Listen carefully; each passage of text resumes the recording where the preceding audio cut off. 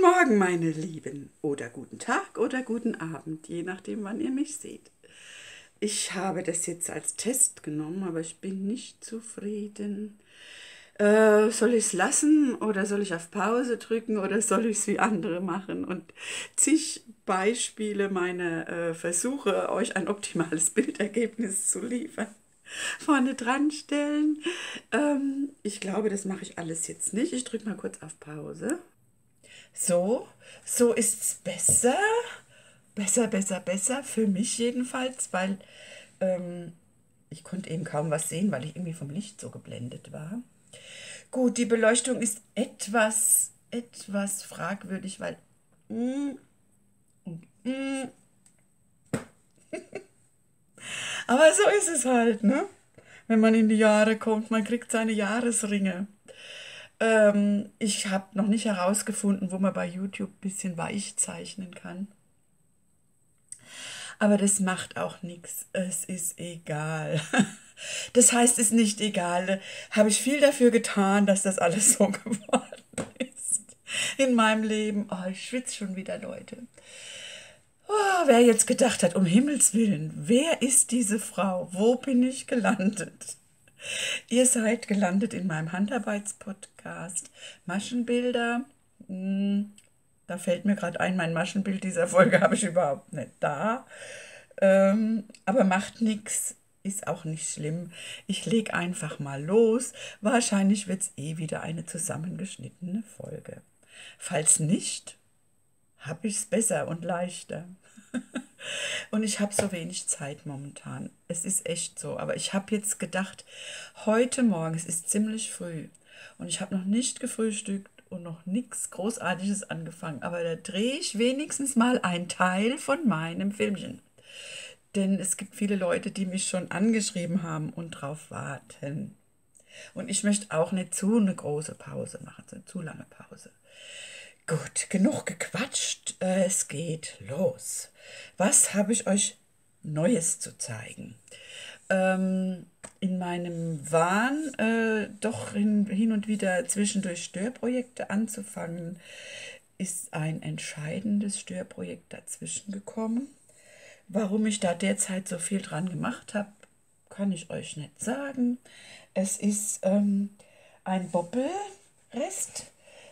Von diesem Bobbel, ach siehste, da müsste ich eh nochmal auf Pause drücken. Von diesem Bobbelchen ähm, habe ich nämlich einen schönen bekommen. Na, hier habe ich mit dem Rest experimentiert. Also mit diesem Rest habe ich ein Tuch entwerfen wollen, selber. Dann ist mir aber eingefallen, das gibt's schon. Hier habe ich wie wild äh, gestrickt, weil ich einfach Spaß dran hatte. Dieses Muster kann ich euch dann auch mal zeigen, hoffe ich. Ihr kennt das alle. Es kommt halt mit diesem Bobbel nicht so klar im Moment raus, aber es verstrickt sich wunderbar. Ich zeige es euch mal. Das ist dieses Muster. Diese dieses Strickdings. So. Das gibt es in x-facher Version überall, bei allen möglichen Projekten. Und ähm, ich glaube, ich begehe jetzt hier auch kein, keinen äh, Urheberschutzverletzung, wenn ich euch diesen Chart reinhalte. Ich halte mal ganz kurz ein bisschen länger. Das da unten gibt dann auch nochmal eine extra Spitze, aber das ist das Teil, wo ich eben einfach mal ausprobieren wollte. Denn ich war im Probierwahn. Ich habe probiert und probiert und probiert. Jetzt zeige ich euch nochmal jetzt, wie das besser zu sehen ist. Da auf dem dunklen Untergrund. Ah, und das, hat, das strickt sich so schön und das macht so einen guten Effekt. Guckt mal, wie toll das wird. Ja, und hier oben habe ich ein anderes Muster probiert. Das kann ich euch ich dachte auch schon mal aufschreiben, aber das mache ich sowieso nicht. Leute, ich werde es nicht aufschreiben. Das ist aus irgendeinem so Multimus, ist das auch, das sind ähm, drei Maschen, zwei Maschen links, zwei Maschen rechts und am Anfang der Reihe wird immer, werden drei rechte Maschen zusammengestrickt und eine, ein Umschlag gemacht und das wird versetzt und das wird auch ein sehr schönes Muster. Das habe ich auch mal probiert. Was ich machen kann, ist, ähm, ich werde diese Charts vielleicht fotografieren und in Pinterest zeigen. Ich werde, das ist eine Idee. Pinterest ist ja sowieso der Wahnsinn, ja. Ich weiß nicht, wer von euch Pinterest nicht kennt. Wer sich einmal damit befasst hat, wird süchtig. Noch eine Sucht. Jetzt sind natürlich wieder Maschen runtergefallen, weil ich das Ganze momentan auf einer Stricknadel habe. Einer Cubic, meiner Lieblingsstricknadel, eine Dreier Cubic, aber die ist nicht lang genug für das Tuch. Deswegen muss ich hiermit zwangsweise aufhören. Aber es macht so einen Spaß, denn ich wollte diesen Bobbel probieren. Ich hole ihn mal. Also mein Neuzugang in dem Zusammenhang, warum ich partout jetzt hier rum experimentiert habe mit diesem Rest, ist, dass ich einen ganzen Bobbel gekauft habe. Und zwar, viele von euch werden es kennen, ich kannte es noch nicht. Valeries Knötchen hat eine Facebook-Seite, Glory Le Prussien. Prussien. Glory, ich weiß nicht genau, wie sie es ausspricht. Glory Le Prussien, sag ich mal. Ich halte es euch nochmal rein. Hier auf dieser Webseite, nein, Facebook-Seite findet ihr entweder Valeries Knötchen, ist glaube ich der Name der, der Webseite, und die Glory Le Prussien zusammen mit ihrem Mann Frank. Das sind diejenigen, die ähm, diese sehr experimentellen Bobbel wickeln. Und das hat mich so gereizt. Da hatte sie eine Verkaufsaktion und habe ich einfach mal bestellt, weil das ist auch ein Unikat mit Glitzer. Ähm, dass ich den haben musste. Kennt ihr ja alle. Haben müssen, nicht wollen. Haben müssen. Wolle haben müssen. Nicht Wolle haben wollen. Ja.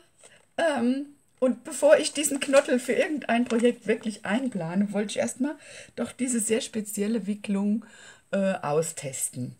Ja, und so kam das hier zustande. Mhm. Ich glaube, es muss aber jetzt ein bisschen ruhen, obwohl es auch ein schönes Unterwegsprojekt ist. Aber ich muss mir erst eine längere Nadel besorgen, sonst haut mir das immer ab. Ja, so viel dazu, äh, dass ich bei fünf Projekten im Jahr ach Quatsch, am Ende dieses Jahres bei fünf Projekten maximal gleichzeitig landen will, kann mir nie passieren, wenn ich dauernd was Neues anfange. Ja, ich habe mich jetzt hier schon hingestellt an mein Bett, damit ich das besser holen kann, was ich euch zeigen will. Ähm, dann habe ich noch was Neues angefangen. Ich muss nochmal auf Pause drücken.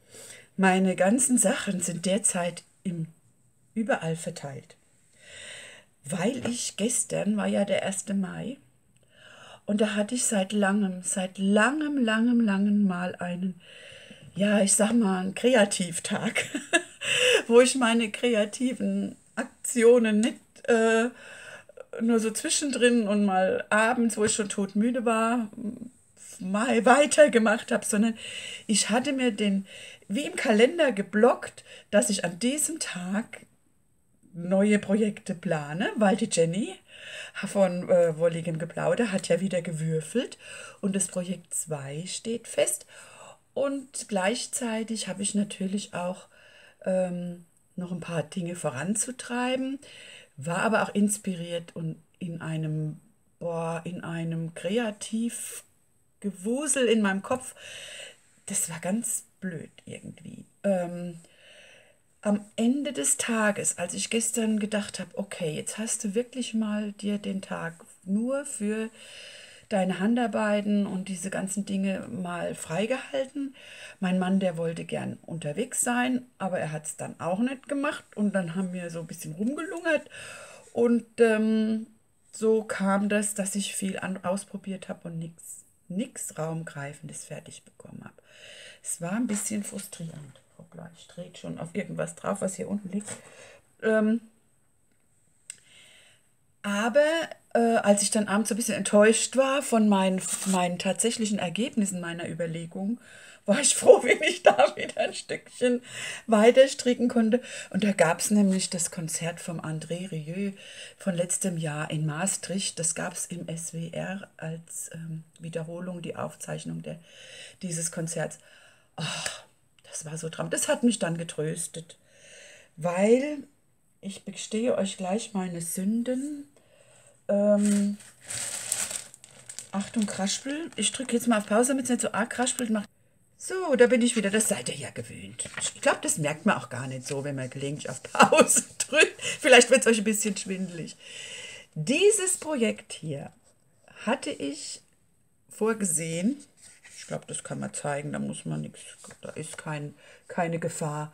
Zumindest mal die Konstruktion und das ist ja auch sonst wo schon veröffentlicht. Und dieses Bild, die Anleitung von Svetlana Gordon, nennt sich auch Tashashu Gordon. Also der ihre Sachen, die faszinieren mich derartig, dass ich gedacht habe, ich werde dies, so ein Projekt in diesem Jahr mal verwirklichen. Gekauft hatte ich die Anleitung schon länger und war der Meinung, lässt sich bewerkstelligen. Ich bin bereits an dem ersten halben Ahornblatt. Ich zeige euch das mal hier ein bisschen näher. Diese, diese Blätter, ne? Oh, gestellt es scharf, ich hoffe es genug. Das wird, ja, wird immer ein halbes Blatt gestrickt, dann geht es zurückgestrickt und das nächste halbe Blatt dran. Ich war schon beim ersten, beim ersten halben Blatt mit den Nerven am Ende. Und dann habe ich mir gedacht, nee, das hat keinen Wert. Das ich habe dann mal ein paar Projekte in Revelry mir an, Revelry, angeguckt von anderen Strickerinnen und Strickern, aber ich glaube, es waren nur Strickerinnen, äh, die ähm, dieses Projekt schon realisiert haben. Das ist ja das Tolle bei Revelry, dass man auf dem, wenn man diese Anleitung offen hat, kann man ja oben gucken, Projekte, da sieht man dann ein, ähm, eine Link eine Verlinkung zu äh, der Seite, wo andere, wo alle diejenigen Fotos gesammelt sind von Leuten, die das Projekt schon gestrickt haben. Und das finde ich, seitdem ich das mal zufällig irgendwie entdeckt habe, so genial. Und da habe ich natürlich gleich mal gestöbert, wer hat das Tuch noch gestrickt und wie ist das da geworden und welche Wolle haben die genommen. Denn das hat sich auch mit als Problem herausgestellt. Die Wolle. Warum die Wolle? Äh, ich kann es euch gleich noch näher erklären, wenn ich euch noch weiter berichte, was ich da in dem Zusammenhang noch alles angestellt habe. Für mich ist es jedenfalls so. Also die Wolle, wenn die so weich und fluffig ist. Ich hatte mir draufgeschrieben Drops Delight und Mille Colori von Langjans. Also es soll, sollte nach Möglichkeit ein schönes Farbverlaufsgarn sein. Und ähm, damit es diesen tollen Effekt gibt. Ja, jetzt habe ich ja genug in meinem Stash. Ich zeige euch mal, was ich so angedacht hatte. Ich habe äh, einmal diese Delight hier. Sehr schön, könnte man auch damit kombinieren. Und dann, wo ich es ursprünglich auch, wie ich es in meiner Vorausschau für 6, Strick 6 in 2019 äh, vorgesehen hatte, ist dieses Kaschmirgarn von, warte mal, ich gucke, ob ich eins mit Banderole hier finde. Natürlich nicht. Kraspel, kraspel, kraspel. Die Banderolen sind alle schon weg. Aber macht nichts. Das ist jetzt auch für den Moment irrelevant. Das ist so ein gestricktes, so ein, äh, sieht aus wie ein kleiner, in sich gestrickter Faden, ist total weich und fluffig und äh, hat einen wunderschönen Farbverlauf. Nur das Knäuelchen hat einen sehr dunklen Farbverlauf insgesamt. Kann ich euch mal zeigen. Augenblick. So sieht es verstrickt aus. Da habe ich auch schon mal experimentiert. Das gibt so ein Zackentuch. Das gibt es frei im Internet. Ah, ich komme jetzt nicht drauf. Wenn ich dran denke, werde ich es euch verlinken. Aber das war mir jetzt das war mir jetzt auch ein bisschen zu düster.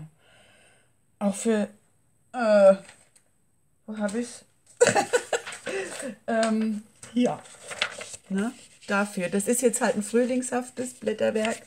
Das hätte man durchaus als herbstliches Blätterwerk durchaus sehen können. Aber ich habe, es hat nicht gezündet, ne? Das kennt ihr ja auch alle, ne? Wenn das Strickwerk, was man so sich im Kopf ausmalt, wenn es dann beim Probieren und bei der Maschenprobe machen nicht zündet. Und das hat nicht gezündet. Das hat auch nicht gezündet. Ich habe äh, noch ein ganzes Stück mehr dran gestrickt gehabt schon. Und ähm, es ist eine wunderbare Machart. Wie gesagt, ich werde wirklich gucken, dass ich es euch unten reinstelle. Oder ich gucke mal, dass ich meine Revelry-Seite mache. Da habe ich auch noch so viel Altlasten zu bewältigen. Egal. Viele von euch werden es kennen und für den Moment reicht es ja auch aus, euch das mal so zu zeigen, wie die Wolle verstrickt aussieht in Farbfeldern. Ne? Das gibt dann nicht, die, die, diese Art der Strickerei betont natürlich die einzelnen Farben und deswegen hat es mir auch gut gefallen.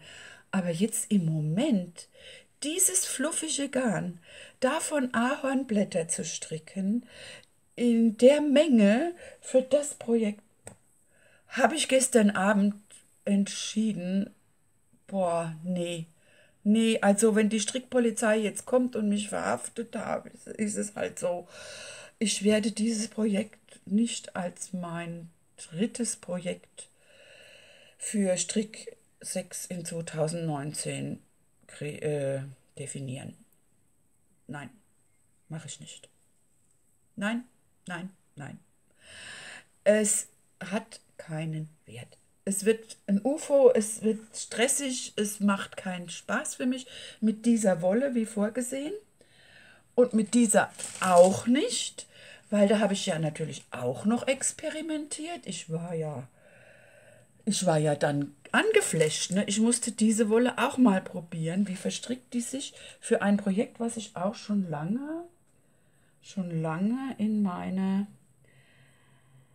ah, To-Do, Hätte ich beinahe gesagt, in meinen Plänen, die mir zu Tausenden durch den Kopf schießen, auch als doch ganz interessant angesehen hatte. Und da habe ich experimentiert. Äh, so sieht es momentan aus. Ich will euch aber die Anleitung zeigen.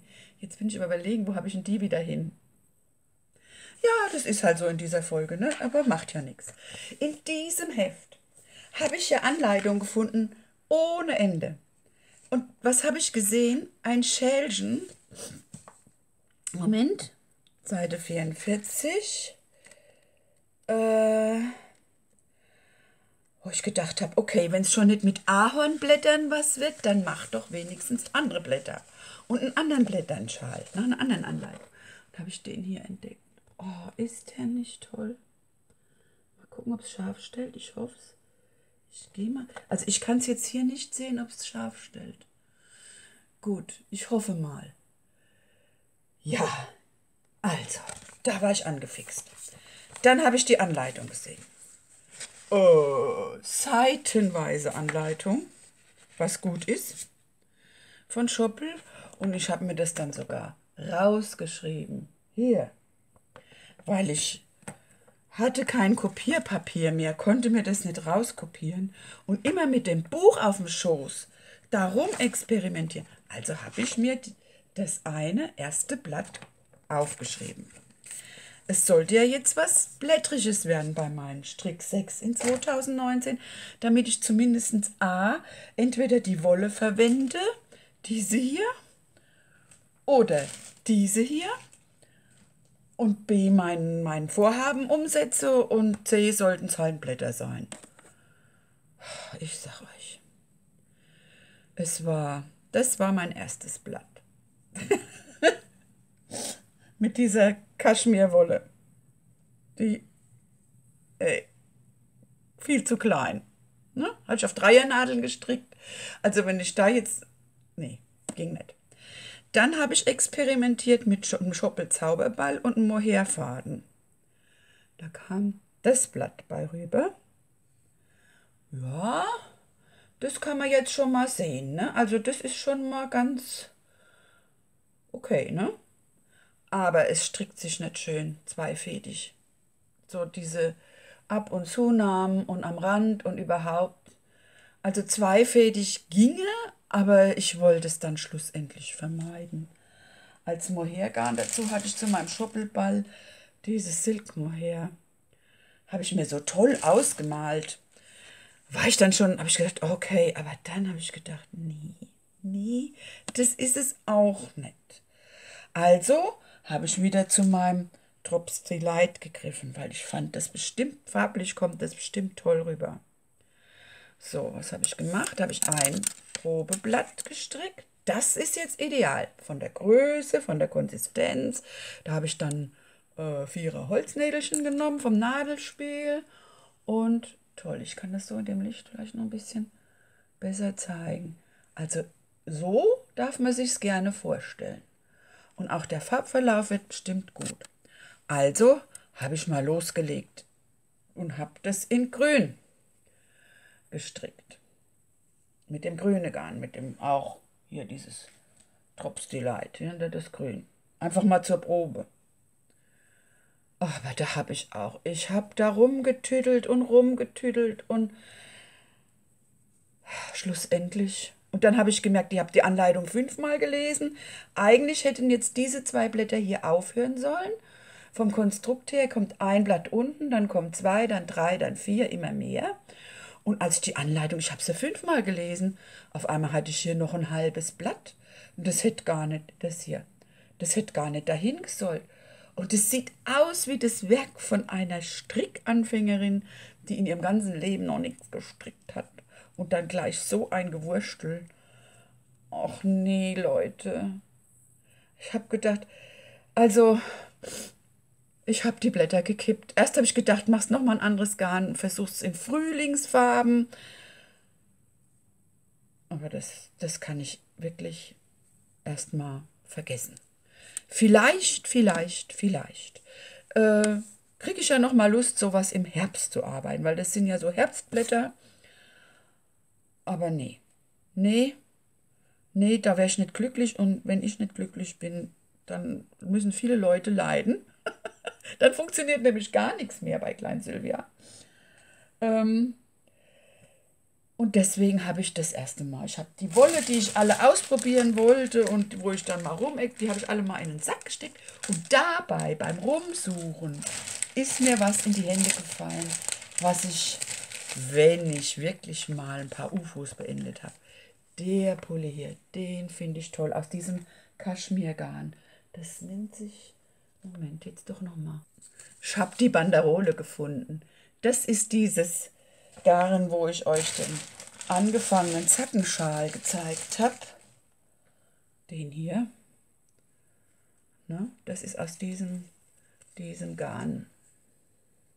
Achtung, Werbung. Werbung, Werbung, Werbung. Ich glaube, wir stehen wirklich mit einem Bein im Gefängnis, wenn wir das nicht dazu sagen. Und das so ein äh, Entrelac wird mich auch mal sehr reizen. Und ich habe nicht nur diese Farbe, die ich euch in diesem Zackenteil zeige, sondern, Entschuldigung, wenn es kraspelt, ich habe auch noch diese Farbe. Und das wird bestimmt gut.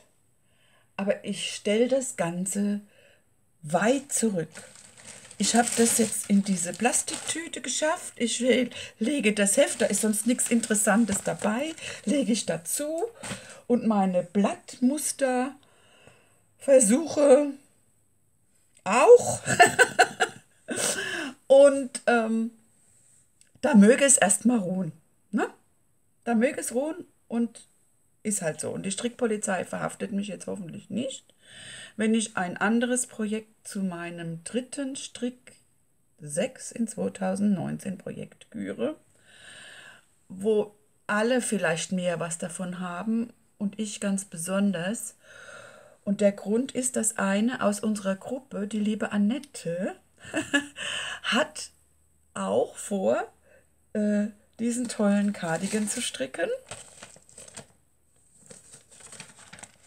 Diesen hier.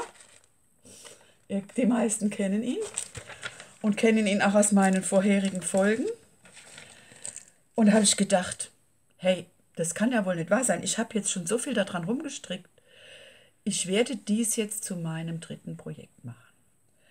In 2019. Dann wird er ja hoffentlich auch fertig. Und es animiert mich sehr, dass die liebe Annette, die ja auch eine sehr talentierte Strickerin ist, dieses Teil stricken will. Und das äh, bringt mich sicher voran, ich habe ja, äh, das habe ich euch noch nicht gezeigt. Seit meiner letzten Folge war ich, glaube ich, wo war ich denn hier irgendwo? Ich habe leider keinen Progresskieber reingesteckt. Aber ich bin jetzt bei den Herzchen. Da wären halt die Herzchen zu Blättern oder die Blätter zu Herzchen. Ähm, egal. Es wird weiter gestrickt an diesem Projekt. Und das ist mein, in dem Zwei-Monats-Turnus habe ich jetzt zu meinem dritten Projekt, der Nummer zwei, umgeswitcht. Und ich hoffe, ihr verzeiht mir das. Vielleicht habt ihr ja auch was davon, wenn ich schlussendlich mit dem Projekt auch echt mal ein Stück weiterkomme. Denn es wäre zu schade, wenn der nicht bald fertig würde, zumindest bis in Herbst hinein. Denn es ist ein wirklich tolles Strickstück. So. Ah, jetzt bin ich richtig erleichtert, dass ich euch das gesagt habe. Ja.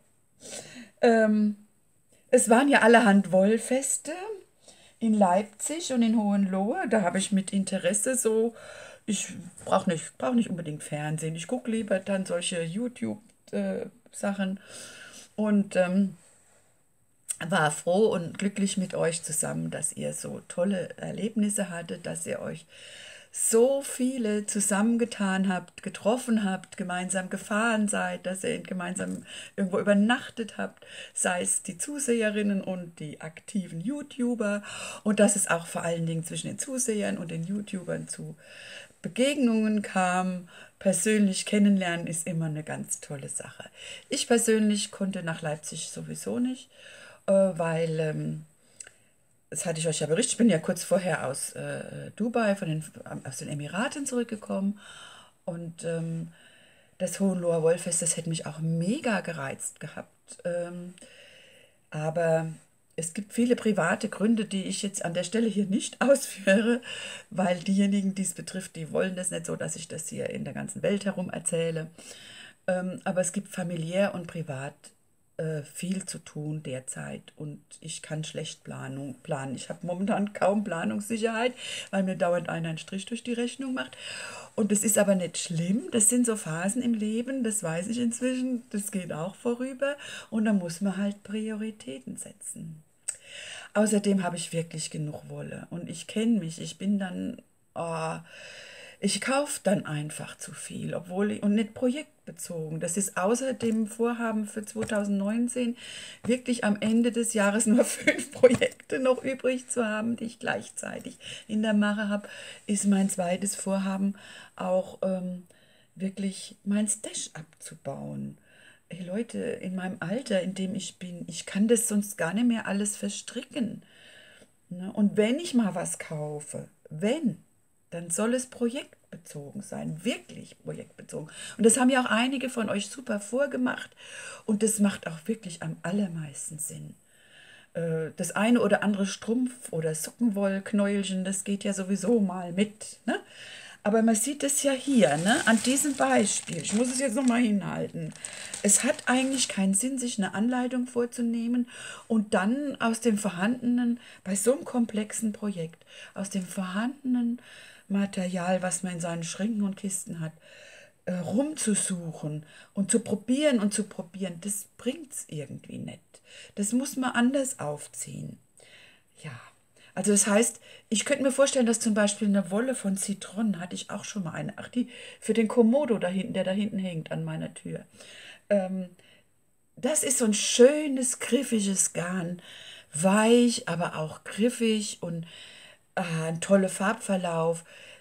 So eine Wolle würde sich besser eignen wie so eine weiche, fluffige Wolle für die Blätter, für den Blätterschal, den ich mit Sicherheit irgendwann, so Gott will, noch stricke.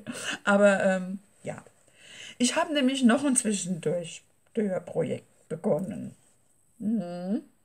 Und zwar war ich angefixt, hat wieder war wieder eine Virenschleuder unterwegs. Ähm, ja, da kann ich, da kann ich, ah, ich habe meinen Korb hier hinter mir stehen. Falle ich drüber.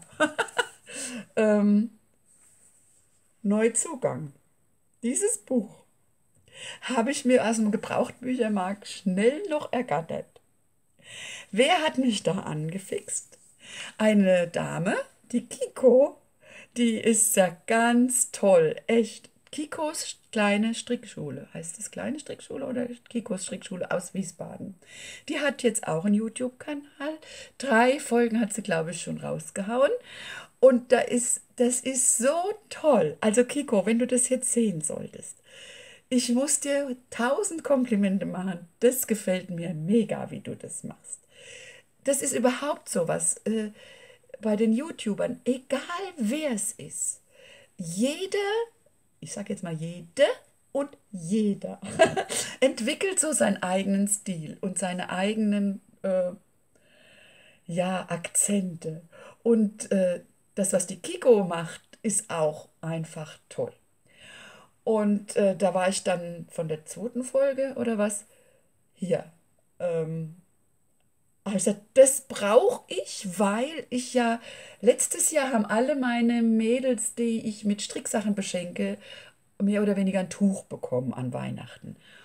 Aber das wird das Weihnachtsprojekt, weil so viel zocken will ich nicht stricken. Habe ich momentan überhaupt keine Lust. Und dann habe ich dieses Buch noch gekriegt. Ich will es jetzt nicht aufmachen, Ihr habt es ja jetzt gesehen, ist vom Top Verlag. Ich zeige euch, wie das Ding heißt, Harimaki.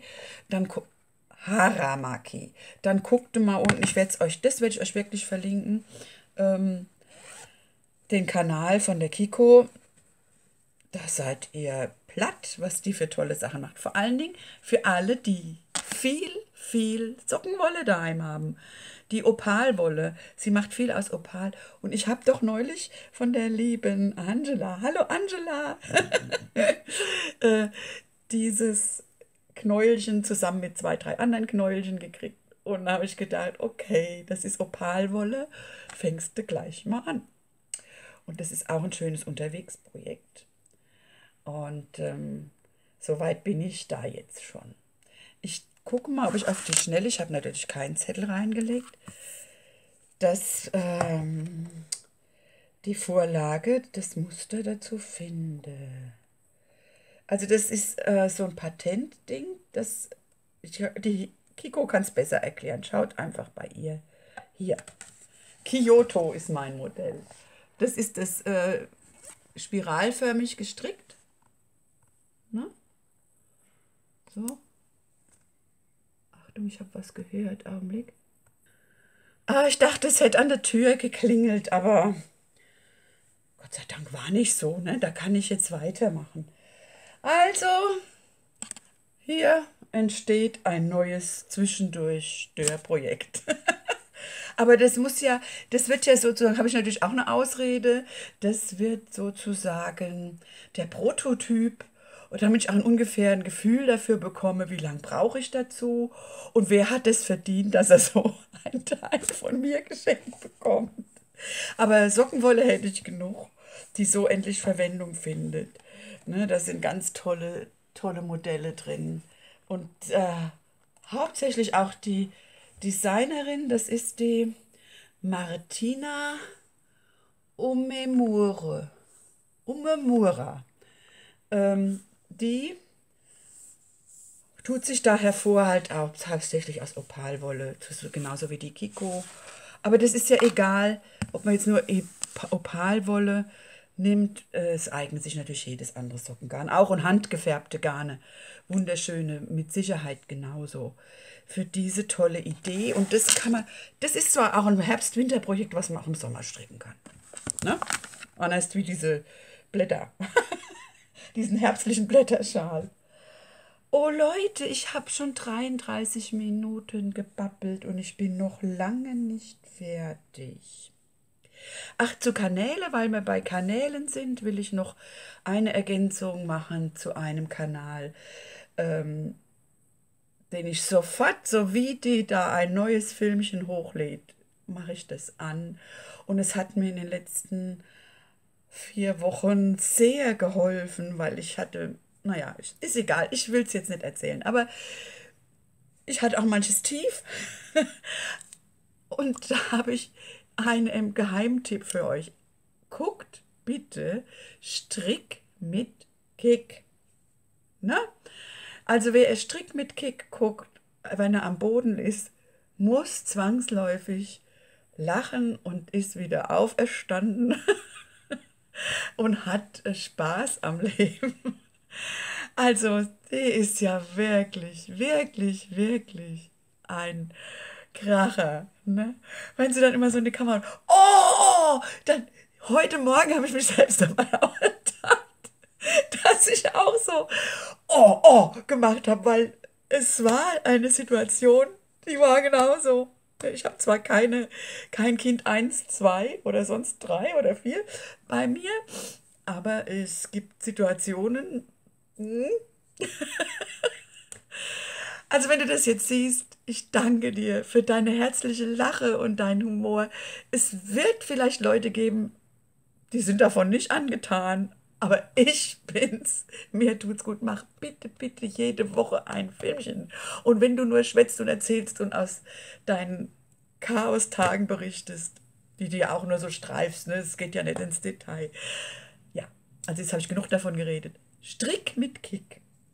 Titel sagt alles. Okay, weiter geht's. Mein zweites Projekt aus Strick 6 in 2019 ist ein bisschen ein Sorgenkind. äh, aber ich will euch nicht vorenthalten, wie weit ich jetzt bin. Guckt mal, das habe ich alles fertig. Da unten habe ich eine Lacekante noch dran gestrickt, weil mir das gut gefallen hat dazu, weil ich ja hier auch Lace gestrickt habe. Und zwar, ähm, das sind, oh, das ist ein ganz einfaches Lace-Muster. Ich, ich kann es euch jetzt gar nicht sagen. Das sind zwei Maschen. Ach, egal. Ich, ich müsste es raussuchen, die Strickschrift. Es werden mh, mm, drei Maschen links gestrickt oder rechts. Ich weiß gar nicht mehr von welcher Seite. Dann wird ein Umschlag gemacht und zwei zusammen und dann wieder zwei zusammen und ein Umschlag und, und es kommt so wunderschön. Also das müsst ihr ja wirklich immer, kann man ja wirklich sehen, wie toll das geworden ist was das für einen tollen Effekt hat. Ja, vielleicht schreibe ich es noch raus. Ach, was ich immer alles verspreche. Hier habe ich diese Fake-Naht gemacht. Mit äh, links, rechts verschränkt links. Dann entsteht hier ein bisschen so ein schöner Fall an der Seite.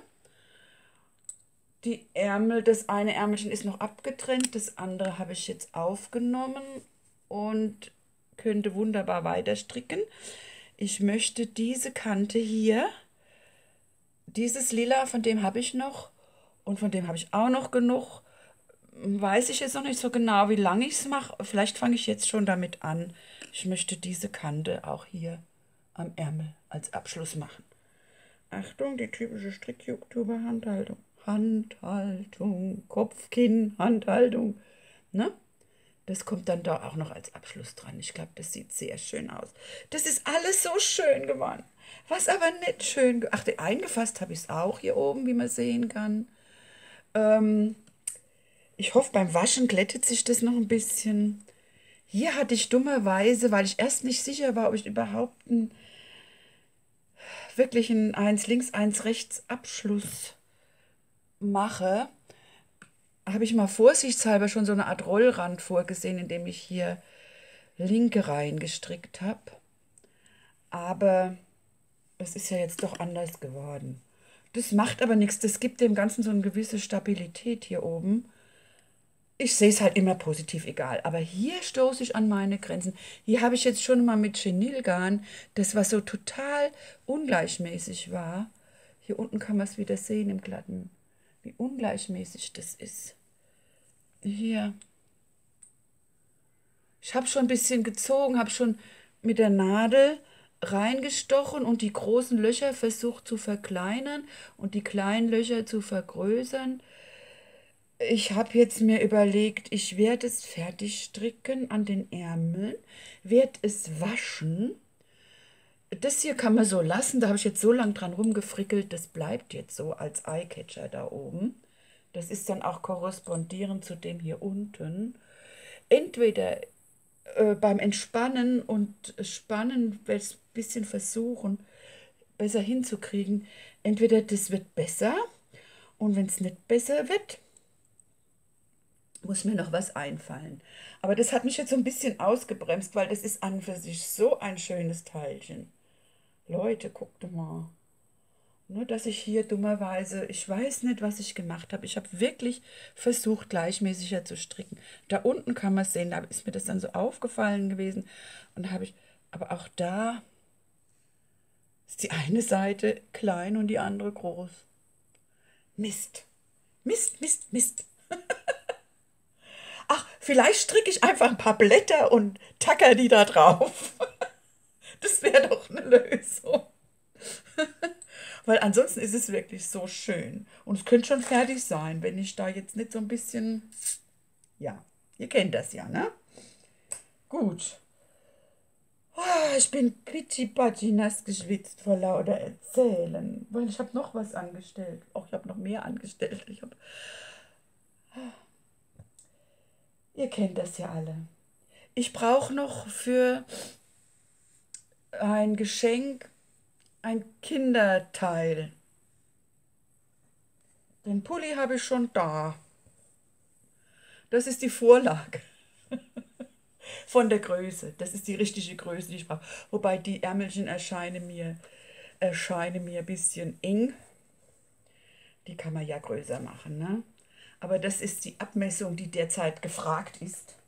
Und ich bin in mein Stash getaucht und habe von der lieben Moma Momas Wollwelt noch diesen kleinen Boppel gefunden. Und da musste ich natürlich gestern gleich die Maschenprobe machen. Hier habe ich erst mit Nadeln 3, 3, nee, ja, Nadeln 3. Nee, das war dreieinhalb hier unten. Dann habe ich gemerkt, es wird wieder zu locker. Dann habe ich drei genommen und das wird gut. Das ist die Basis für meine Berechnung eines Kinder Raclanos von der Nicola Susan. Denn mit dem Raclano habe ich ja hier auch äh, äh, die Maße errechnet, weil sie hat das wunderbar, das ist eine kostenfreie Anleitung, Raclano, ich zeige es euch nochmal, findet ihr auf Ravelry. Und da gibt es bei der Vorbereitung ein ähm, Modul, wo man, wenn man seine Maße einträgt und die Maschenprobe hat, kann man sich genau errechnen, wie die Raklan-Geschichte hier oben laufen soll. Und das habe ich jetzt vor, auch als Kinderdings zu machen, als Kinderjäckchen, Pullichen, es gibt ein Pullichen. Äh, oder ja, so ein Über... Einfach was zum drüberziehen. In diesen netten Sommerfarben. Und wenn das nicht reicht, mache ich unten am Rand aus dieser Wolle noch ein Blattmuster dran. ja, es gibt ja so schöne Blattmusterränder, ne? Okay. Aber das äh, wisst ihr ja, bei mir entwickelt sich das im Laufe des Strickens. Ne? Immer mehr, immer mehr. Jetzt schaue ich schon wiederum, ob ich nicht noch was Wichtiges vergessen habe, euch zu zeigen. Ähm, ähm, ähm, ähm, ähm. Neuzugänge. Ach ja, ich hab's. Mit diesem Tuch hier bin ich auch ein ganzes Stück vorangekommen aber nicht glücklich. da kommt nämlich jetzt die Kante. Da habe ich schon angefangen. Die Kante wird quer dran gestrickt und dann mit verkürzten Reihen. Oh, das ist jetzt. Oh, Leute, jetzt. Oh, oh. das darf ja wohl nicht wahr sein. Ich will euch das zeigen und guckt mal, wie das jetzt ist. Oh Gott, ich habe es schon abgenadelt hier ungewollt. Macht aber nichts. Ich trenne es nämlich sowieso auf. Jetzt würde das hier so quer dran gestrickt. Ich zeige es euch gleich auf dem Foto. Ne? Um dieses elendig lange Teil. Das ist, ich weiß nicht wie viel, 100 Maschen. Immer zack, zack, zack, zack, hin und her. Aber nicht nur das. Die liebe Ute hat das ja noch wunderbar designt. Ne? Hier. Ich zeige euch das mal. Hier. Ähm, und ich muss euch gestehen, es sein optisch gefällt mir wunderbar. Und es gibt natürlich auch jede Menge Leute, die das wunder, wunder, wunderbar machen mit einer Akribie und einer Geduld. Aber ich gehöre nicht dazu. Nein, ich werde auch das verändern. oh Wunder, ne? Wundert sich jemand? Ich nicht. Ich finde es schön von der Ute sehr gelungen, weil auch dieser Verlauf hier, das ist ja wirklich edel, ne? Ähm, das ganze Tuch, auch die Beschreibung, da sind noch mehr Tücher in diesem Heft von ihr drin. Ah, da habe ich ja schon eh, da werde ich eh noch mehr machen, ganz klar. Aber dieses, ich habe es probiert. Ich habe es probiert, ich bin tapfer gewesen, ich habe es probiert, diese Abschlusskante da unten so zu machen. Ich komme nicht klar, weil immer das Ganze hin und her und hin und her und hin. Echt, habe ich keine Geduld dazu. Wäre ich kribbelig. Hat es keinen Wert. Ich werde einen zweifarbigen Brioche-Rand unten dran stricken. Ne? Ich hoffe, ihr verzeiht mir das und dann kleine Pferdezügel abketten wahrscheinlich. Ich glaube, so ein dicke Eiquadrant muss nicht dran. Und dann ist dieses Tuch wenigstens fertig. Ne? Und da werde ich irgendeine andere schöne Anleitung von der Ute mal nehmen, gelegentlich. und mal gucken, ob ich das dann so durcharbeite, wie sie es vorgesehen hat. Ne? Gut. Noch ein Geständnis. Das ist die Folge der Geständnisse. Habe ich noch was zu gestehen? Ach ja, ja, ja. Das will ich euch ja nicht vorenthalten. Ich habe bei Jokers, das ist ja dieses Outlet von Weltbild, Reklame, Werbung, Werbung, Werbung, Werbung, selbst bezahlt und selbst bestellt, habe ich äh, mir zwei Strickbücher bestellt. Eins, was mich schon länger mal gereizt hat, auch im Zusammenhang mit dem, was ich euch hier am Anfang, hier, ne, das Teilchen, erklärt habe mal ein Buch von der Veronika Huck. Bobbelstricken. Ja, ich muss sagen, ja, also es sind schöne Sachen drin, aber bislang war noch nichts. Das ist vielleicht ganz nett mit den Herzchen. Bislang war, das gefällt mir auch ganz gut. Warum? Es hat ein na, Blätter sind es nicht, aber so ähnlich. Zumindest die Farben. Also das würde ich nacharbeiten. Das gefällt mir sehr gut. Auch genauso in den Farben finde ich sehr schön. Und dieser Loop, den finde ich auch nicht schlecht. Mal so ein Loop aus Bobbelgarn ist auch mal eine feine Sache. Ein Herzchen drin. Oh ja. Ein Multimus, auch nicht verkehrt. Ja, es ist okay. Das, natürlich sind auch ein paar Tipps drin und Tricks. Ja, insgesamt okay. Weil es gibt ja, es sind ja Leute, die das das erste Mal in die Hand nehmen, so ein Boppel, die wissen ja gar nicht, was sie im Grunde genommen mit so einem Boppel anfangen sollen. Ne? Mir ging es am Anfang ganz genauso. Ich dachte, was, ja, jetzt habe ich diese tolle Wolle, was stricke ich denn jetzt da draus? Dafür ist es wirklich empfehlenswert. Und zwei Modelle, diesen Loop und diesen Blätterschal, die, der reizt mich auch zu machen. Damit ich auch mal was von der lieben Veronika. Die tut ja auch einiges für unsere Handarbeitswelt hier. Und habe ich gedacht, ich kaufe mal ein Buch von ihr. Man muss ja das auch ein bisschen unterstützen. Und dann habe ich, also, habe ich einen Glücksgriff gemacht. Ich zeige euch mal das Titelbild. Falls ihr noch eine Chance habt, euch dieses Buch zu bestellen. Hier ist es jetzt seitenverkehrt. Ich hoffe, es ist nachher nicht seitenverkehrt. Dieses Buch ist eine Offenbarung. Äh, das Titelmodell, da denkt man erst, oh, naja, also, hm, hm, würde ich mir sowas stricken? Weiß ich nicht. Aber hier ist nochmal ein Ausschnitt von hinten. Aber da ist wirklich fast jedes Modell ein Kracher für mich. Hier ist von dem Modell die Rückenansicht. Das kann man auch variieren. Also das muss nicht unbedingt als so mit Ärmelchen und so. Man kann es auch als Pellerine nehmen. Ich hoffe, die Anleitungen sind gut. Also richtig korrekt. Weil da sind ja Sachen drin. Oh, ich habe das Buch, ich habe die Zeit vergessen, ich habe so dringend weggemusst. Ich habe aber erstmal in dem Buch geblättert und geschaut, was da für tolle, tolle Sachen drin sind. Ähm, ich war, ich könnte da jedes einzelne Modell mir vornehmen. Vielleicht ein, zwei Ausnahmen. Das finde ich auch ganz toll. Vielleicht ein bisschen größer, nicht so klein, aber die, die, die Machart. Und dann kann man so ein schönes Muster wunderbar umsetzen. Eignet sich natürlich auch für ein Bobbel. Ähm, klar, das Schälchen ist jetzt nicht so der Burner, also. Aber guckt mal hier. Oh, Oh, oh, wird jetzt Strick mit Kick machen.